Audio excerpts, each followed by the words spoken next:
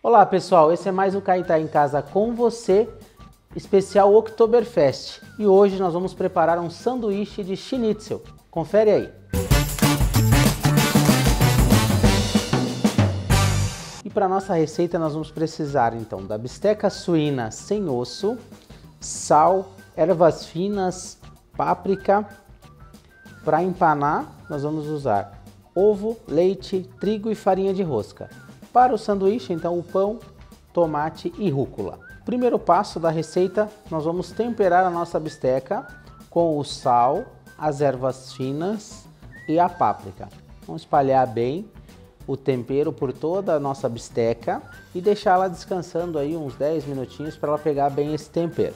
Agora a gente vai para o empanamento, vamos quebrar os ovos, bater com um pouco do nosso leite e colocar no prato o nosso trigo e a farinha de rosca. Agora pega a bisteca que já está temperada, vamos passar no trigo, no leite, nessa mistura que a gente tem de leite e ovo e na farinha de rosca. E vamos deixar ela aqui enquanto vamos lá colocar o nosso óleo para aquecer. Depois que o óleo já estiver quente, vamos fritar a nossa bisteca mais ou menos aí de 5 a 6 minutos, vai estar pronto. E agora nós vamos colocar ele aqui para escorrer um pouco dessa gordura. Vamos então para a montagem do, do sanduíche de schnitzel. Eu vou cortar o nosso pão ao meio, usando aqui um pão francês, umas rodelas de tomate. Vamos colocar o nosso schnitzel nele e rúcula.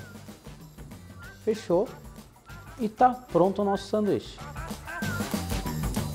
Pessoal, ficou pronto o nosso sanduíche de schnitzel. Coloquei uma mostarda escura para acompanhar. Então faça essa receita em casa, comente com a gente. E esse foi mais um Caetá em Casa com você. Até a próxima!